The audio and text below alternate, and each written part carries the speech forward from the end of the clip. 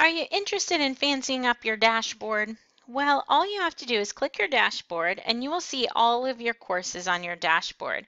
You have a couple of options. Number one is you can change the color of your courses. So click the three dots, pick whatever color you want, say apply, and you'll notice the course color changes. You can also rename the course. This is a mouthful.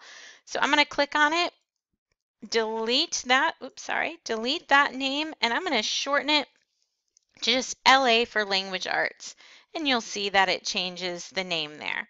So you can do that with all of your courses, changing the colors, changing their names. If you want them in a certain order, they do line up alphabetically.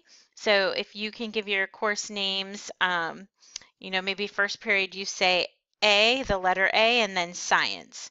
And then your second period you could say B, and then, you know, PE. Or you could try numbering them. It might work that way too, but I know for sure it works alphabetically.